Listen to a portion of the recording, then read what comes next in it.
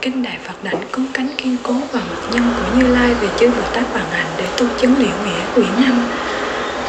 Ngài khánh hãy bạch phật rằng, bạch thế tôn, tuy như lai đã thuyết giảng về nghĩa quyết định thứ nhì, nhưng nay hãy quan sát về người cởi trói ở thế gian, nếu họ chẳng biết nguyên gốc của chỗ bị buộc thì con tin rằng họ sẽ chẳng bao giờ có thể gỡ ra.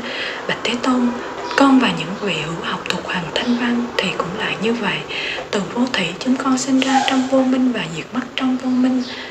Mặc dù chúng con đa văn, có thiện căn và còn được xuất gia, nhưng chúng con như những kẻ cách vậy này lại bị sốt kính mong thế tôn đại từ mà thương xót cho những kẻ làm chìm đắm trong luân hồi. Làm sao thân tâm của chúng con hôm nay bị siết buộc và chúng con phải gỡ trói từ đâu? Xin thế tôn chỉ dạy và hầu cũng khiến cho những chúng sanh khổ nạn ở vị lai được thoát miễn luân hồi và không còn rơi vào bá cõi. Khi tách bạch xong, ngài khánh hỷ và đại chúng chắp tay định lễ sát đất, rồi tôn giả tư rơi lệ như mưa và thành tâm chờ đợi lời khai thị tối thượng của đức phật như lai.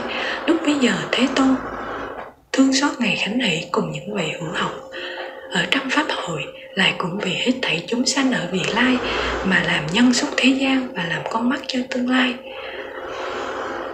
Đức Phật dùng bàn tay xoa lên đỉnh đầu ngài khánh hỷ, rồi từ nơi đó phóng ra, rồi từ nơi đó phát ra ánh sáng vàng, tím như như vàng ở dưới sông tại châu Thắng Kim lập tức, khắp thế giới của chư Phật đều chấn động sáu cách.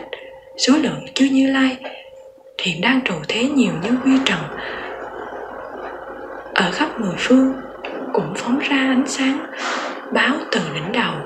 Những ánh sáng này đồng thời với các thế giới kia chiếu đến rừng cái chiến thắng và rót vào đỉnh đầu chư Phật. Khi ấy toàn thể đại chúng được điều chưa từng có. Tiếp đến, tôn giả khánh hỷ và đại chúng đều nghe chư như lai nhiều như vi trần. Dị khảo, đàm âm bảo ngài khả nảy rằng, lành thay lành thay, ông muốn nhận biết vô minh đã sanh cùng lúc với ông là căn gốc kết cuộc đã khiến ông sinh tử luân hồi. Chính là sáu căn của ông không có vật nào khác. Ông lại muốn biết đạo vô thượng để khiến ông mau chứng giải thoát an lạc tịch tỉnh vi diệu thường hằng cũng sẽ do sáu căn của ông không có vật nào khác. Tôn giả khánh hỷ tuy nghe pháp âm như thế, nhưng tâm vẫn chưa hiểu ngày cúi đầu và thưa với phật rằng, thưa thế tôn, làm sao sáu căn này mà không phải bất cứ vật nào khác đã khiến con sanh tử luân hồi, nhưng đồng thời cũng sẽ giúp con được an lạc vi diệu thường hằng? Đức phật bảo, căn và trần đồng đến từ một nguồn gốc, giải thoát và trói buộc chẳng phải ai. Đánh của thức là hư vọng và tựa như hoa đốm. này khánh hỷ, do bởi các trần mà phát khởi tri kiến, và nhân bởi các căn mà có tướng tướng và tri kiến đều chẳng có tự tánh, chúng phụ thuộc lẫn nhau tựa như cỏ lao đang xiết với nhau cho nên ông nay dựa vào tri kiến để nhận biết, nhưng nó chính là gốc của vô minh nếu nhận biết tri kiến vô không thì chính là chân tánh thanh tịnh tịch diệt vô lậu tại sao ông lại thứ chứa thêm vật khác vào trong chân tánh chứ? Lúc bấy giờ thế tôn muốn tiên lại nghĩa lý ở trên nên nói kệ rằng hữu vi rộng không trong chân tánh, do từ duyên sanh nên như huyễn. Vô vi vô khởi bất sanh diệt, nhưng cũng chẳng thật như hoa đốn giảng nói hư vọng để hiển chân, nhưng vọng lẫn chân đều hư vọng, bởi chân và vọng vốn phi chân năng ký sở kiến làm sao có. Ở giữa hai chúng không thật tánh, cho nên đang xiết như cỏ lao. Trói buộc giải thoát, đồng sở nhân, thánh nhân phàm phu chẳng hai lối. Ông hãy quan sát trong tánh xiết có không cả hai đều chẳng phải.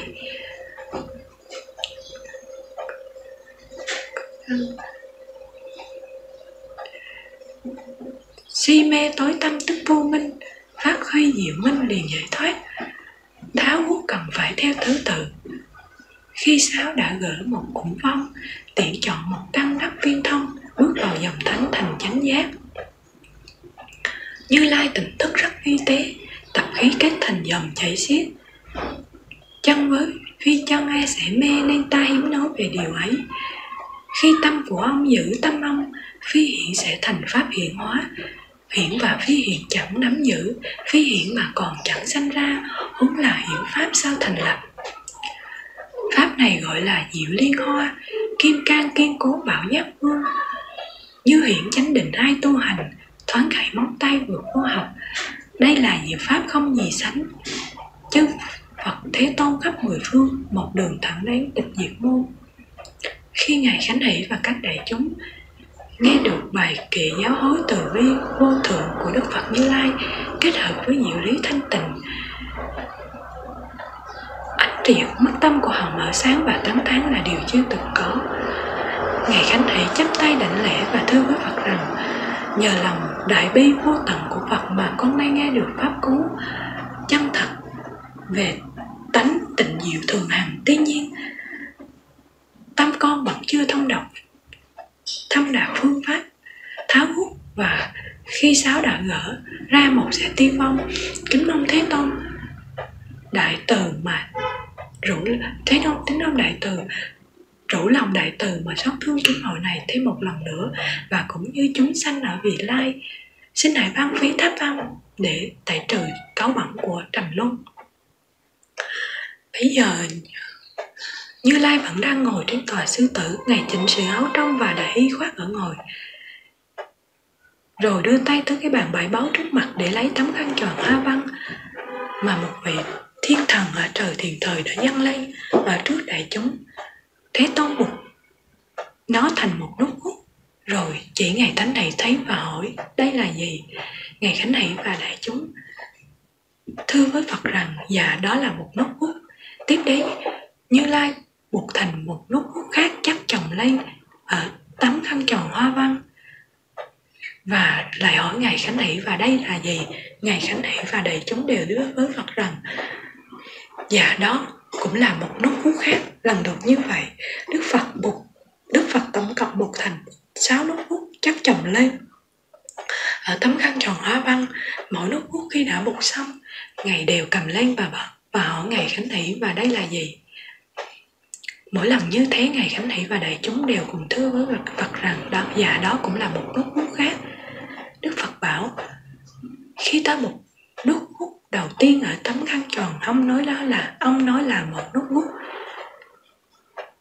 Cho đến lần à, ngay từ đầu tấm khăn tròn hoa văn thật sự chỉ là một tấm khăn. Cho đến lần thứ nhì và thứ ba tại sao các ông đều gọi là một nút hút khác? Ngày khánh này bạc Phật bạc Thế Tôn bạc dù tấm khăn tròn hoa văn quý báu này được giặt thành Và nó vốn là một vật, Nhưng theo sự suy nghĩ của con, Như Lai buộc lại Thì gọi là một nút hút. Cho dù Như Lai buộc nó một trăm lần Thì chúng con vẫn mãi gọi là một trăm nút hút. Hà huống chỉ có sáu nút hút ở tấm khăn này. Đức Phật đã không buộc thành nút hút thứ bảy Và cũng không dừng lại ở nút hút thứ năm. Thế thì tại sao Như Lai chỉ thừa nhận nốt ước thứ nhất, nhưng phủ nhận nhận nốt ước thứ nhì và thứ ba? Đức Phật bảo, Ông biết tấm khăn tròn Hoa văn quý báu này chỉ là một tấm khăn. Khi ta buộc thành sáu lần thì gọi là có sáu nút khúc Ông hãy quan sát tường tận Thể của tấm khăn thì giống nhau, Nhưng nhân bởi thất khúc, Ông nói rằng nó có sai khác, Ý ông nghĩ sao? Khi ta buộc lần đầu tiên thì gọi là nốt nhút, nốt hút thứ nhất.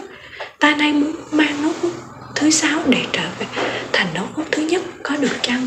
Dạ không, thưa thế tôn, do bởi có sáu nốt hút. Chúng ta vĩnh viễn không thể gọi nốt hút thứ sáu là thứ nhất được. Suốt đời con chuyên chú vào sự học hỏi và biện luận, làm sao có thể khiến con làm lẫn tên gọi của nước hút thứ sáu và nước hút thứ chất chứ?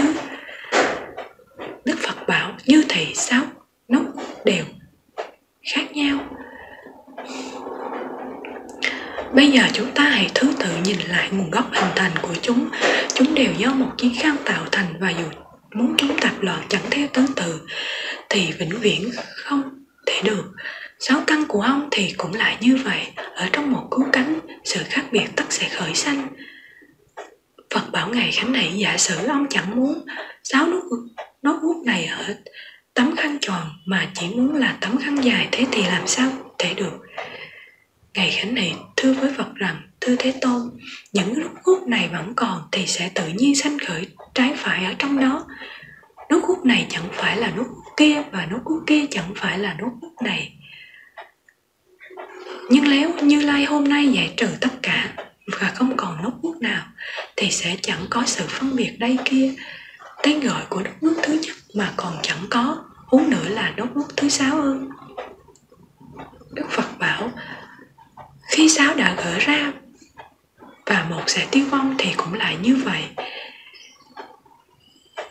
Do sự cuồng loạn từ tâm tánh của ông từ vô thủy nên chi kiến hư vọng phát sinh và những sự phát sinh hư vọng này chưa từng thâu nghĩ.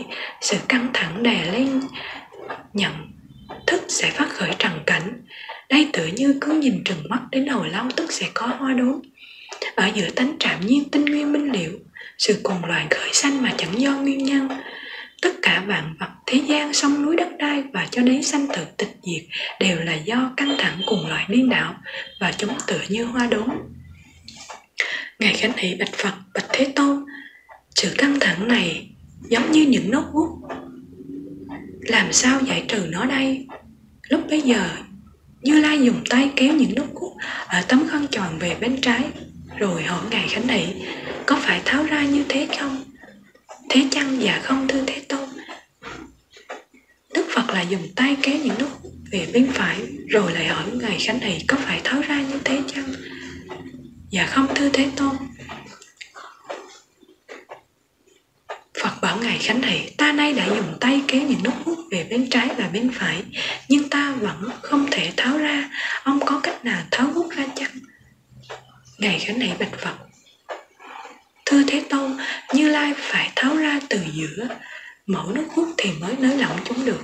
Đức Phật bảo, như thầy như thầy, Nếu có ai muốn cởi hút thì họ phải tháo ra từ giữa mẫu nút hút này Khánh Hỷ, ta tiên giảng Phật Pháp từ nhân duyên sanh, nhưng các Pháp này không nắm lấy từ tướng hòa hợp thô kệch của thế gian. Như Lai đã hiển thị rõ Pháp thế gian và Pháp xuất thế gian. Ta biết căn bổn của chúng đều do duyên sanh ra thậm chí có đến bao nhiêu giọt nước mưa đang rơi ở thế giới cách xa các thế giới khác nhiều như các sông hằng ta cũng biết được ta đều thấu hiểu Nguyên do của muôn sự việc hiện tiền như là vì sao cây tùng thẳng đứng, gai góc uốn cong và chim ngỗng màu trắng hay chim quạ màu đen. Cho nên Khánh hỷ ông hãy lựa chọn kỹ càng từ một căn ở trong sáu căn. Nếu ông gỡ nốt bút của căn đó thì thần tướng của nó sẽ tự động diệt trừ và hy vọng điều tiêu tan. Vậy những gì còn lại sao không thể là chân thực chứng? Này Khánh Hỷ, bây giờ ta hỏi ông Làm sao chúng ta đồng thời có thể gỡ hết sáu nốt bút ở chiếc khăn tròn bóng gòn này chứ? Không thể tư Thế Tôn, do những nốt bút được bục theo thứ tự nên bây giờ chúng ta phải gỡ ra theo thứ tự.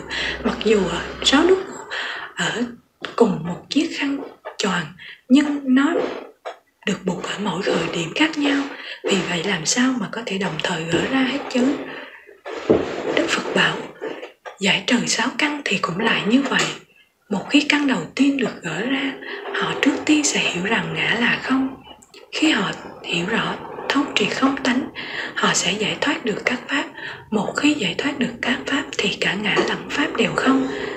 Và chẳng còn sanh ra, Đây gọi là Bồ Tát từ chánh định. Nên đắc vô sanh nhẫn. Khi Ngài Khánh Hệ bài đại chúng Tiếp thọ lời khai thị của Phật, họ được tệ giác viên thông và không còn hồi thi. lúc bấy giờ ngài khánh này, chắp tay đảnh lễ với trán chạm sát đôi chân của Phật và thưa với Phật rằng, hôm nay thân tâm, chúng con tỏa sáng và mau được sự biết vô ngại mặc dù chúng con giác ngộ về nghĩa lý khi sáo đã gỡ ra, một sẽ tiêu vong nhưng vẫn chưa thấu rõ căn nào sẽ dẫn chúng con đạt đến viên thông Thưa Thế Tôn, chúng con phiêu dạt trong sanh tử đến nhiều kiếp như kẻ sinh ăn, cô độc. Chúng con không bao giờ lại nghĩ rằng mình sẽ gặp được Phật và có quan hệ mật thiết với Ngài. Chúng con như các đứa trẻ thất lạc bỗng nhiên gặp lại mẹ hiền. Do nhân ấy mà chúng con có cơ hội thành đạo. Nhưng lời mật ngôn mà chúng con nghe được lại đồng như với giác ngộ căn bổn. Như thế với việc chư hiền nghe chẳng có gì khác biệt.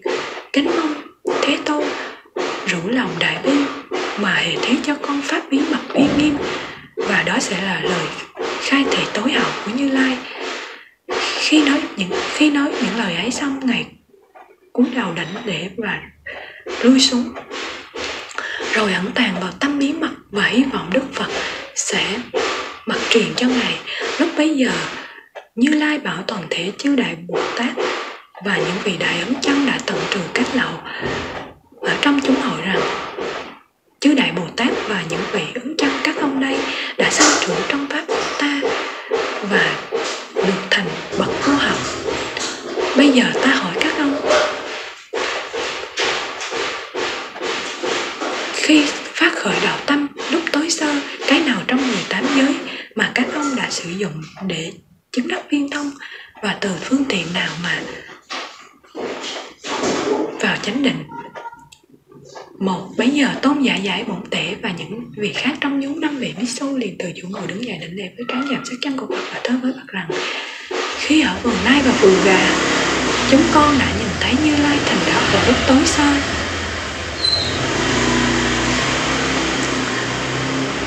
khi nghe âm thanh của Phật chúng con liền giác nghèo ngộ bốn thánh đế bấy giờ Đức Phật hỏi các vị Misu và con là người liệu giải đầu tiên như Lai ấn chứng và đặt tên cho con là Giải. Âm thanh vi diệu, bí mật đã hiện lộ khắp nơi đến con. Do từ thanh âm mà con được thành lập ứng chân, Phật hỏi về viên thông nhân qua sự chứng đắc của con. Quan sát âm thanh là phương pháp đệ nhất. Hai, bấy giờ tôn giả trần tánh lời từ chủ, liền từ chủ ngồi đúng giờ định lễ với trán giả phát chân của Phật và thứ với Phật rằng con cũng thấy như lai thành đạo vào bán sơ. Con quán tướng bất tịnh và sân tâm nhàn chán vô cùng. Con giác ngộ rằng các sắc các sắc tánh khởi sanh từ bất tịnh xương trắng trở thành vi trần và tan biến trong hư không do con hiểu rằng hư không và hình sắc đều chẳng thực sự tồn tại nên thành tựu. Đạo vô học, như lai muốn chứng và đặt tên cho con là trần tánh, hình sắc ví diệu bí mật đã hiện lộ khắp nơi đến con. Do từ sắc tướng mà con trở thành bậc ấn chân Phật hỏi về viên thông nhân qua sự chứng đắc của con quán sát hình sắc là phương pháp đệ nhất. Bây giờ đồng tử hương nghiêm liền từ chỗ ngồi đứng dậy Định lệ với trán chạm sát chân của Phật và thưa với Phật rằng, Sau khi nghe Như Lai chỉ dạy rằng, Con đang quan sát tường tận về các tướng hữu vi Sau đó con từ biệt Phật và ẩn tôn ở một nơi thanh tịnh yên tĩnh, Con quán sát khi các vị bích su thắp hương trầm thủy mùi hương của nó, lặng lẽ vào trong cổ mũi. Con quán sát nguồn cội của mùi hương, chẳng phải từ gỗ chẳng phải từ hư không, chẳng phải từ khói và cũng chẳng phải từ lửa. Nó chẳng từ đâu đến và chẳng đi về đâu. Do đó ý thức tiêu vong và vô lậu phát huy. Như lai ấn chứng và đặt tên cho con là hương nghiêm mặc dù mùi hương hút như nhiệt mắt, nhưng diệu hương bí mật đã hiện lộ khắp nơi đến con. Do từ hương thêm diệu nghiêm mà con được thành bậc cấn chân phật hỏi về viên thông, nhân qua sự chứng đắc của con quán sát hương thơm là phương pháp đệ nhất. Bốn, bây giờ hai vị pháp vương tử là dược vương bồ tát và dược thượng bồ tát cùng với 500 vạn thiên đang ở tại chúng hội liền từ chúng hội đứng dậy đỉnh lễ với trán chạm sát chân của phật và thưa với phật rằng, từ vô thủy chúng con đã làm lương y ở thế gian. Trong miệng chúng con ném qua cỏ cây và kim thạch ở thế giới kham nhận, tổng số có đến 108.000 loại. Chúng con đều biết vị nếm của mọi thứ, như là đắng chua, mặn lạc ngọt, hoặc cay. Chúng con cũng đều biết tất cả đặc tính khi chúng hòa hợp và phát sinh biến dị như là nóng lạnh, có độc hay vô độc. Giữa lúc phụng sự như lai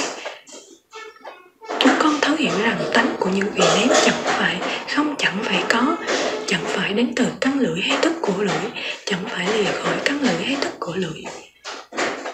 Nhân do phân biệt giữa các vị ném mà chúng con hai ngộ như lai ống chứng và đặt tên cho hai anh em chúng con là dược vương bồ tát và dược thượng bồ tát bây giờ ở giữa đại chúng chúng con là hai vị pháp vương tử nhân bởi vì nếu mà chúng con giác ngộ và thăng lên quả vị của bồ tát Phật hỏi về viên thông nhân qua sự chứng đắc của con quán sát vị ném là phương pháp đệ nhất năm bấy giờ ngày hiền hộ và những vị khác trong nhóm 16 vị khai thị liền từ chỗ ngồi đứng dài đảnh lễ với trán chạm sát chân của Phật và thưa với Phật rằng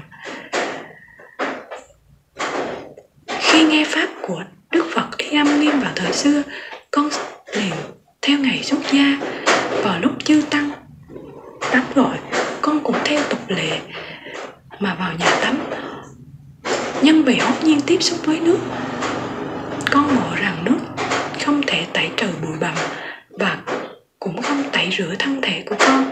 Giữa lúc ấy, con được an nhiên và hiểu rằng không có gì hết.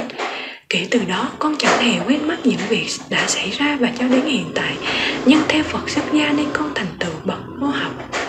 Đức phật kia đã đặt tên con là hiền hộ.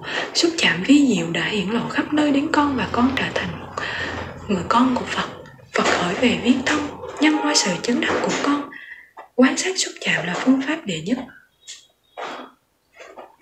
bấy giờ tôn giả đại Ẩm quan cùng biết xuống đi tử kim quan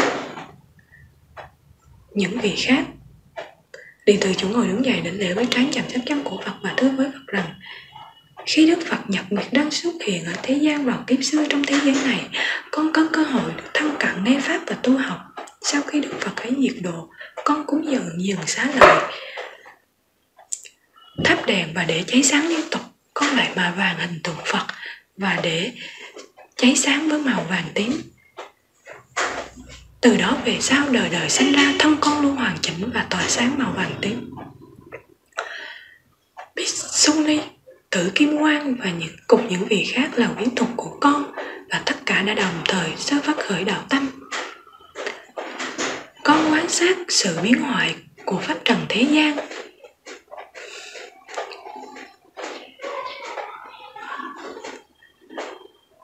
Di, di chỉ tu hành biến di tỷ tu hành. Quan sát rỗng không và vắng lặng của pháp trần này mà con vào diệt tận định. Thân và tâm của con có thể vượt qua trăm ngàn kiếp mà giống như thời gian chừng khẩy móng tay do con quán sát, không pháp nên trở nên trở thành bậc ứng chân. Thế tôn cũng ăn chứng con là về tu khổ hạnh đệ nhất. Pháp trần vi diệu đã hiển lộ khắp nơi. Đến con và con trời sạch các lậu, Phật hỏi về viên thông, nhân qua sự chứng đắc của con, quán sát pháp trần là phương pháp đệ nhất bảy bấy giờ, tôn giả vô nhiệt liền từ chỗ ngồi đứng dậy, đỉnh lễ với trán dành bước chân của Phật và thưa với Phật rằng, lúc mới xuất gia, con rất thích ham ngủ. Như lai quở trách con chẳng khác nào như loài súc sinh. Khi nghe đức phật quở trách, con khóc lóc tự trách. Đến bảy ngày chẳng ngủ nên khiến đôi mắt bị mù. Đức thế tôn thương xót nên khai thị cho con về nhiệm dạo kiếm chiếu minh kim cang chánh định sau khi tu tập, con chẳng cần nhờ. Con mắt mà vẫn có thể nhìn thấy thông suốt mọi thứ khắp mười phương, như nhìn sấy xoài trong bàn, lòng bàn tay, do đó trở thành bậc cứng chân và được như lai ấn chứng. Phật hỏi về viên thông, nhân qua sự chứng đắc của con xoay ngược, căng mắt và tìm nghề buồn cội là phương pháp đệ nhất tám bây giờ tôn giả tiểu lộ liền từ chỗ ngồi đứng dậy đảnh lễ với trán chạm sát chân của Phật và thưa với Phật rằng, Con có trí nhớ kém cỏi và lại không có căn tánh đa văn. Lúc mới vừa gặp Phật nghe Pháp rồi xin xuất gia. Suốt một trăm ngày con cố gắng ghi nhớ một câu kệ của Như Lai, Nhưng khi nhớ được câu đầu thì quên câu trước, Nhớ được câu sau lại quên câu trước Phật hỏi à,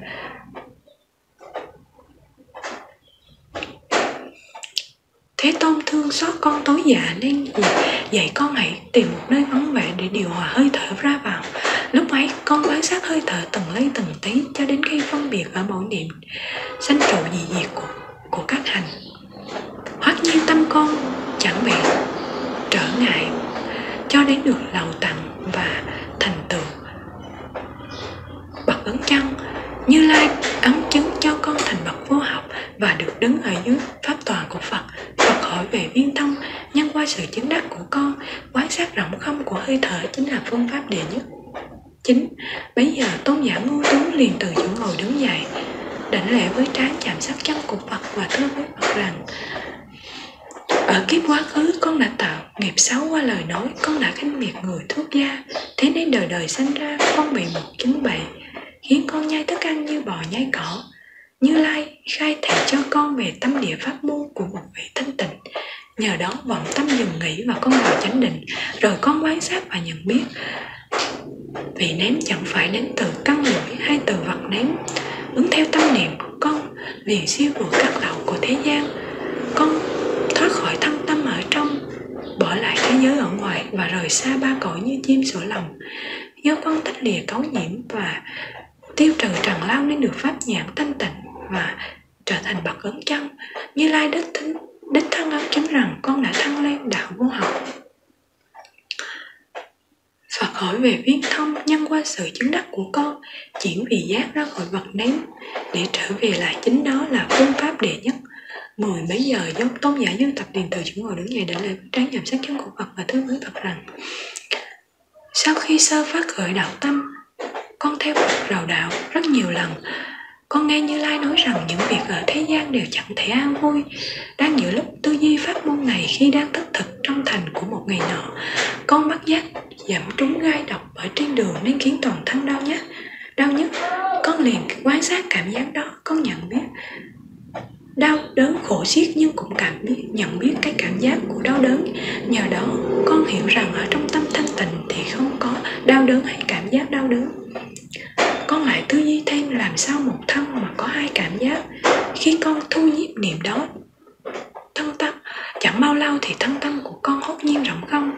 Suốt hai mốt ngày tiếp theo, các lậu của con dần dần từ trận và cuối cùng trở thành bậc ấn chân. Như lai đích thân rằng đích thân ấn chứng rằng con đã thân lên đạo vô học.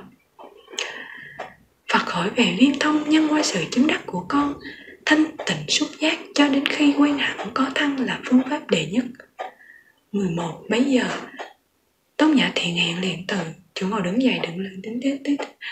của Phật và thưa với Phật rằng, Từ liệt kiếp lâu xa về trước, Tâm con đã được vô ngại và tự nhớ biết vô số đời thọ sanh nhiều như số cát sông Hằng. Dù ở trong tay mẹ, con cũng nhớ biết tịch tỉnh của không. Như vậy, cho đến mọi thứ khắp mười phương cũng là không và con làm cho chúng sanh đắc không tánh nhờ được như lai hiển lộ rằng tánh của giác là chân không và tánh của không là viên minh. Con lập tức vào biển chân không sáng báo của như lai và đồng với tri kiến của phật.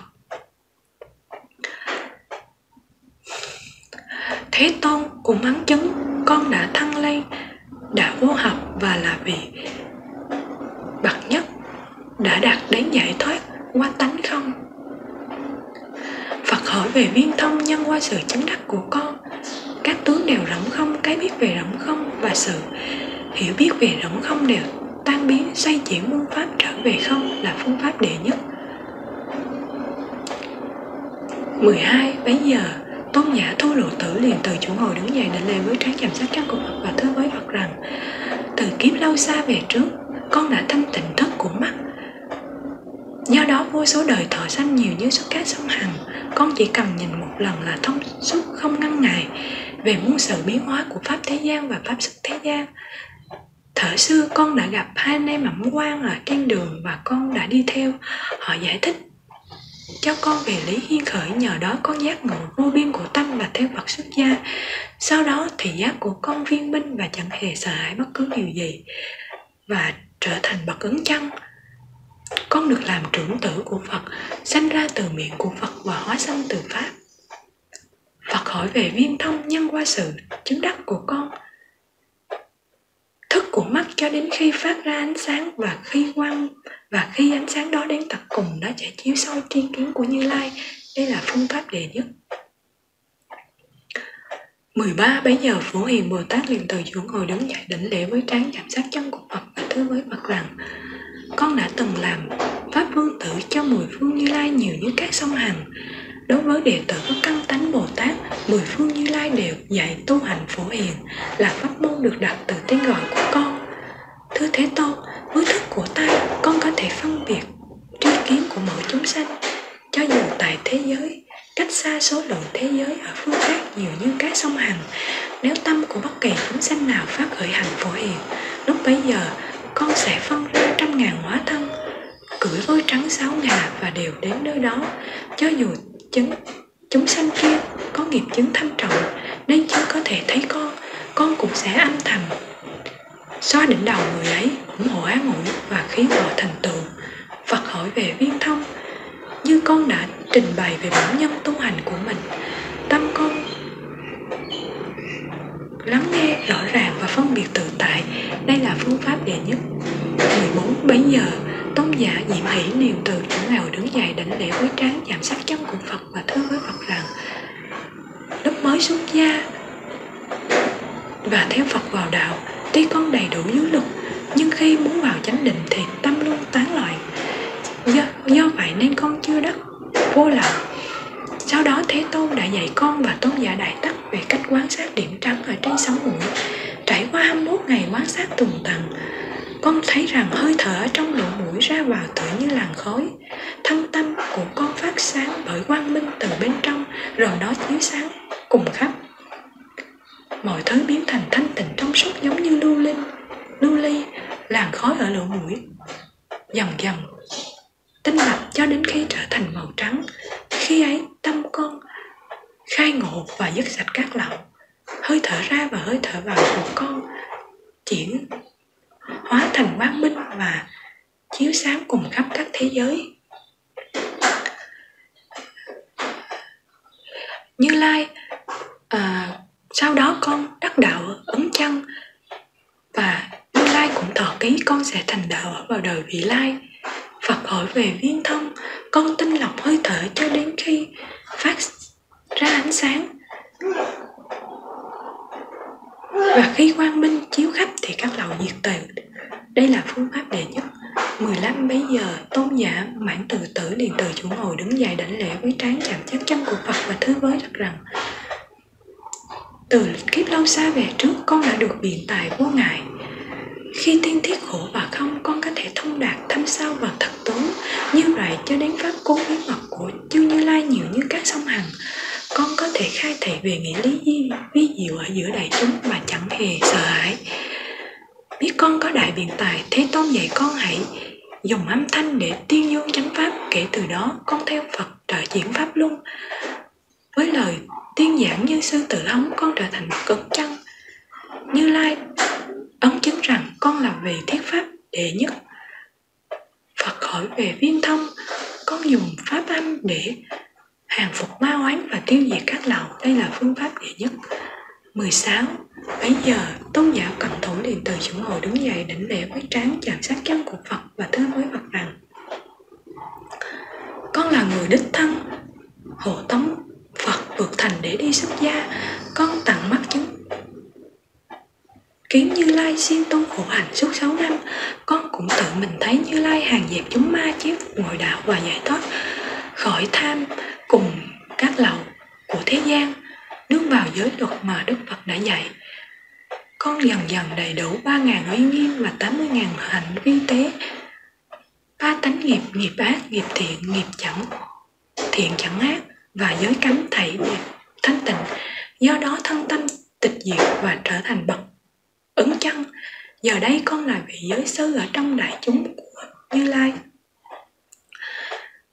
Thế Tôn cũng đích thân ấn chứng rằng con trì giới với thân thân lẫn tâm. Và được đại chúng tôn là bậc nhất. Phật hỏi về viên thông.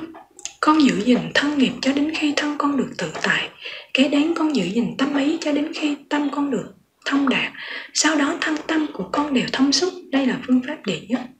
17 bây giờ tôn giả đại thầy, thầy liền từ chỗ ngồi đứng dậy đảnh lễ với trán chạm sát chất của Phật và tứ với Phật rằng Thở xưa khi con đang trên đường đi khắp thực thì gặp ba nơi mẫm quan gồm có mật quan lâm mẫm quan tượng ẩm quan và hà ẩm quan họ đã tiên giảng về nghĩa lý thâm sâu của nhân duyên. Con lập tức phát khởi đạo tâm và được thông suốt hoàn toàn. Khi được như lai từ bi thu nhận pháp bi hoát nhiên khoác lên thân và râu tóc của con tự rụng, giờ đây con có thể du hành đến khắp mười phương mà chẳng gì có thể ngăn ngại. Với thần thông hiển lộ, con đạt đến vô thượng và trở thành bậc ấn chân chẳng riêng thế tôn mà chưa như lai trong mười phương cũng ngợi khen thần lực của con là viên minh, thanh tịnh và tự tại vô ý. Phật hỏi về viên thông, con xây ngược thức tâm để trở về chân tánh trạm nhiên như thế quang minh của tâm con sẽ chiếu sáng và hiển lộ dòng chảy của trường, rồi lâu dần sẽ trở thành thanh tịnh nóng ánh đây là phương pháp đệ nhất. 18 Bấy giờ hỏa đầu kim cang lực sĩ đến trước Như Lai, chắp tay đảnh lễ và thưa với Phật rằng, Nhớ lại nhiều kiếp xa xưa về trước, Con có tánh tham dục rất nặng nề. Lúc ấy có một Đức Phật xuất hiện ở thế gian hiệu là Không Vương Ngài nói rằng, một đám lửa hừng hực sẽ hình thành ở bên trong của ai nhiều dâm dục. Ngài dạy con quan sát những dòng khí nóng lạnh chảy dọc theo khắp đốt xương và tứ chi. Khi đó, một ánh sáng thần diệu ngưng tụ ở bên trong và chuyển hóa tâm dâm dục nặng nề của con thành lửa chứa trệ. Kể từ đó chư Phật gọi con là hỏa đầu. Do năng lực của hỏa quan chánh định mà con trở thành bậc ứng chân. Sau đó con phát đại nguyện rằng, hễ khi nào có ai thành tựu Phật đạo, con sẽ làm lực sĩ hộ vệ và đích thân hàng phục ma oán Phật hỏi về viên thông Con quan sát tỉ mỉ những nơi ấm ở trên thân thể cho đến khi chúng lưu thông. Chẳng trở ngại rồi khi các lão đã tiêu vong. Ở trong tâm, con sanh ra một ánh sáng báo rực rỡ và thắp sáng con đường vô thường giác. Đây là phương pháp đệ nhất. 19 bấy giờ Trì địa Bồ Tát liền từ chỗ ngồi đứng dậy đánh lễ với trán chạm sát chân của Phật và thưa với Phật rằng, Nhớ lại thời xưa khi Phổ Quang Như Lai xuất hiện ở thế gian, Con từng làm là một vị bút xây Biết sâu Ở tất cả đại lộ bến đò Con đường ra đồng. Hay những lối đi hiểm trở mà bị hư hoại, có thể gây thương tổn cho người với xe. Con đều làm bằng phẳng và bát cát đất. Để sửa sang hoặc có lúc con xây cầu. Trải qua vô lượng chư Phật xuất hiện ở thế gian, con siêng làm những việc khổ nhọc như thế. Hoặc nếu có ai ở trước cổng chợ mà cần người khiêng vác đồ vật con liền vác dùm đến đâu đích rồi bỏ đi và không lấy tiền công có một khoảng thời gian bị đói kém ở vào thời Đức Phật biến thắng còn tại thế. Con cộng những người yếu đuối trên lưng. Bất kể là gần hay xa, con chỉ lấy một đồng tiền hoặc nếu có xe bò của ai bị lún trong buồn, con giúp họ thoát khỏi ác nạn bằng cách dùng thần lực của mình mà đẩy xe lây cho đến khi nó có thể lăn bánh một ngày nọ vị vua của nước này thỉnh phật vào cung để dọn thức ăn chay Lúc đó con đã làm bằng phận đất và chờ đợi Phật đi ra qua. Khi ấy, Đức Phật biến thắng, lấy tay xoa đỉnh đầu của cao con và bảo rằng ông đi làm bằng phẳng đất tâm của mình thì tất cả đất đai khắp thế giới đều sẽ bằng phẳng. Tâm con lập tức mở thông và thấy vi trần thân thể cùng vi trần tạo ra thế giới đều chẳng có sự khác biệt. Tự tánh của những vi trần này chẳng hề xúc chạm và cho đến vi trần của binh khí, cũng chẳng có chỗ xúc chạm. Thế là con ngộ vô sanh nhận ở trong pháp tánh và trở thành bậc cứng chân, rồi hồi tâm để vào những quả vị của bồ tát. Khi con nghe như lai tuyên thiết pháp vi diệu liên hoa là căn bổn để đồng, để đạt đến tri kiến của phật sự hiểu biết của con cũng được ấn chứng và trở thành thường thủ trong chúng hội.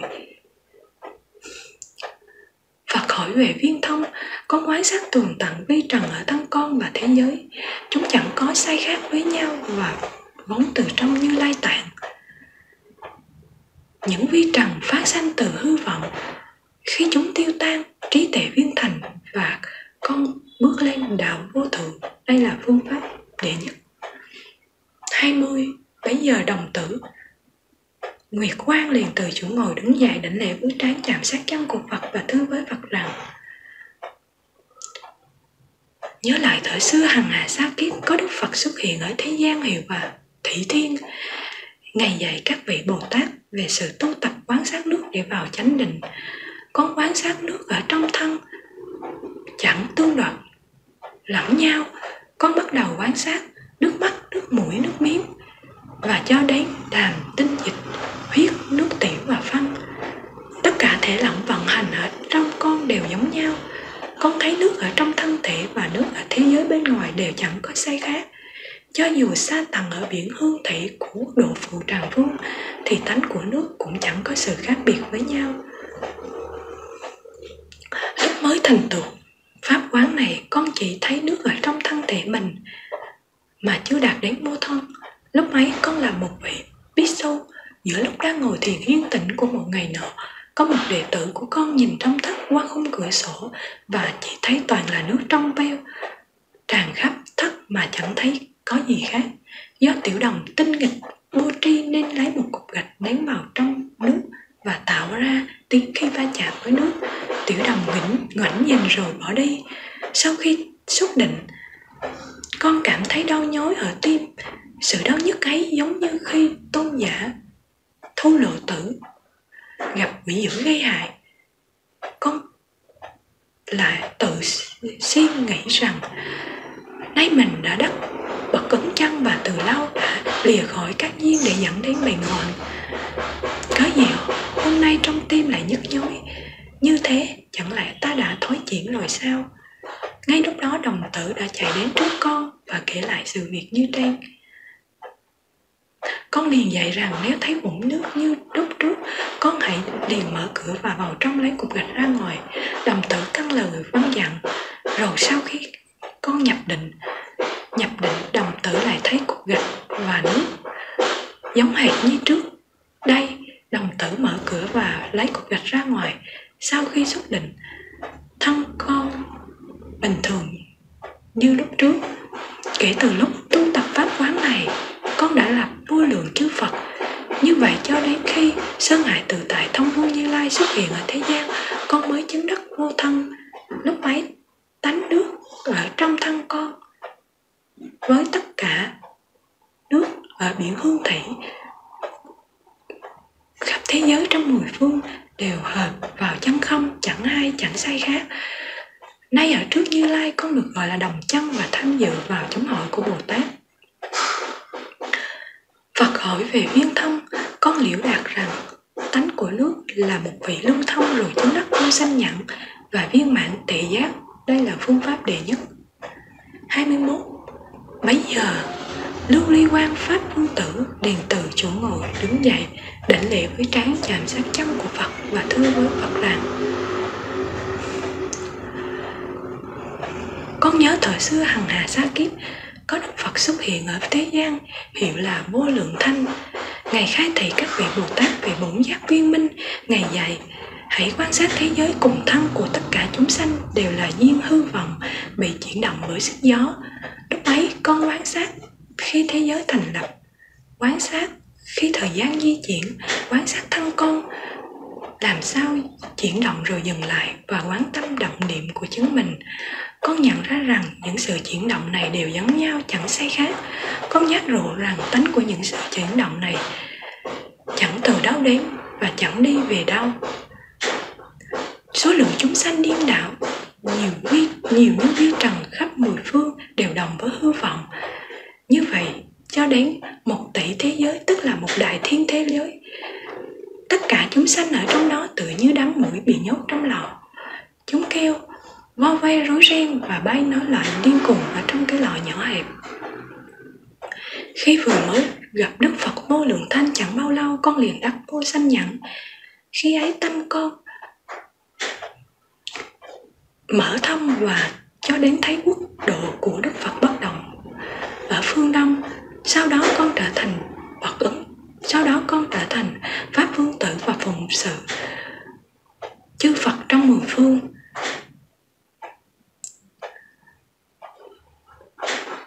Thân tâm của con phát ra ánh sáng và chiếu triệt vô ngại.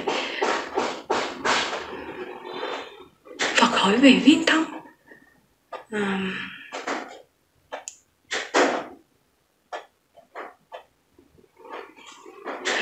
con giác ngộ đạo tâm là do nhờ quán sát sức gió không chó chỗ nương con vào chánh định hợp nhất với mười phương chư phật và truyền thọ diệu pháp của nhất tâm, đây là phương pháp đệ nhất.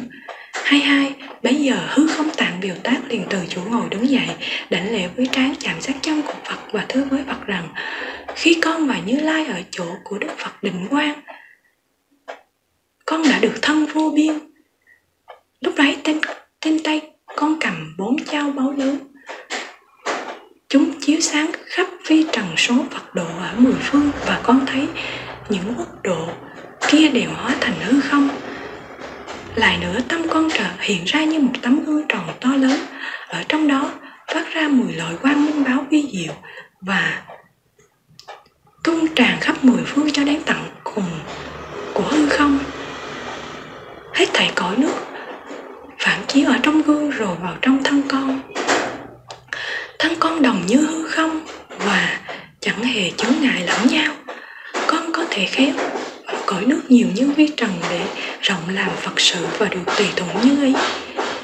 Do con quán sát tường tận về bốn đại, chẳng có chỗ nương nên được sức đại thần thông này. Do vọng tưởng mà bốn đại sinh ra và diệt mất, hư không cùng mức độ của chư phật vốn giống nhau và chẳng phải ai. Qua sự quan sát này mà con khai ngộ và đắc vô sanh nhận phật hỏi về viên thông con nhờ quan sát hư không vô biên đi vào chánh định và được diệu lực viên minh. Đây là phương pháp đệ nhất.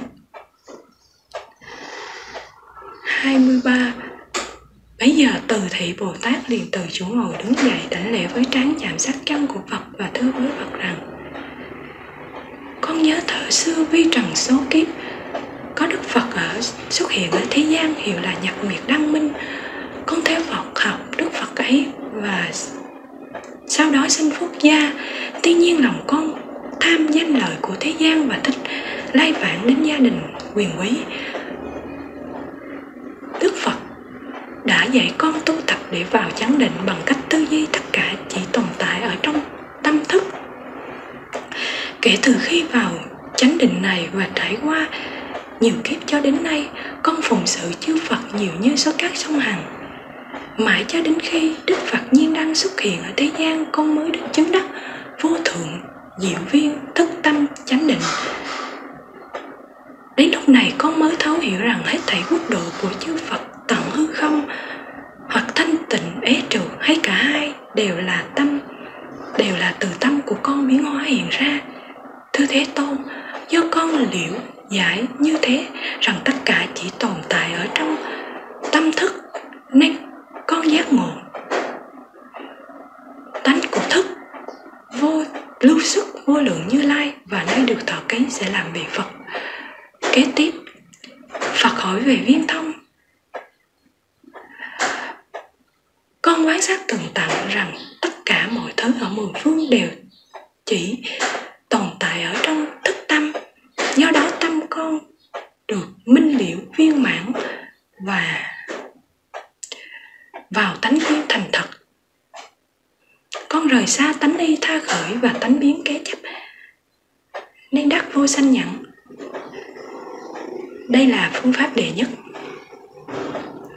24 Bấy giờ Đại Thế Chí Pháp Vương Tử và 52 vị Bồ Tát đồng hạnh như ngày liền từ chỗ ngồi đứng dậy, đảnh lễ với trán chạm sát chân của Phật và thưa với Phật rằng, Nhớ lại thời xưa hằng hà sát kiếp có Đức Phật xuất hiện ở thế gian hiệu là vô lượng quang khi ấy có 12 như lai kế tiếp nhau xuất hiện ở thế gian vào thế giới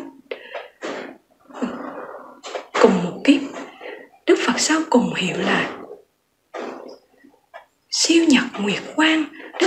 sẽ dạy con niệm phật chánh định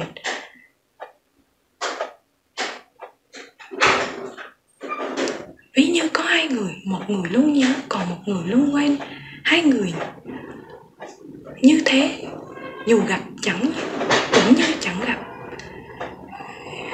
dù thấy cũng như chẳng thấy nhưng nếu cả hai đồng nhớ nhau thì họ là sẽ luôn nhớ mãi cho đến từ đời này sang đời khác.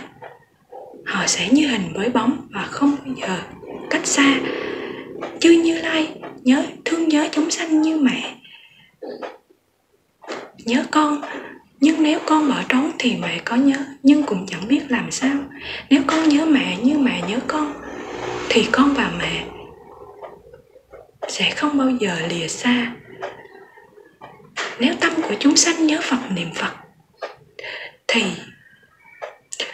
dù cách giặc à, thì hiện tại và vị lai cũng nhất định sẽ thấy phật. Do cách phật chẳng xa nên cẳng chẳng dùng phương tiện tâm sẽ tự khai mở. Đây ví như người gần hương thơm thì thân sẽ có mùi hương. Đây gọi là hương quang trang nghiêm. Lúc xưa ở nhân địa, con đã dùng tâm niệm phật mà vào vô sanh nhẫn. Giờ con ở thế giới này, nhiếp thọ những ai niệm phật về tịnh độ, phật hỏi về viên thông. Con không có tiện lựa căn nào sẽ chứng đắc, sẽ dễ dàng để chạy, dẫn đến viên thông. Con chỉ nhận thấy rằng thu nhiếp trọn cả sáu căn, tịnh niệm kế nhau để đắc. Chánh định, đây là phương pháp đệ nhất.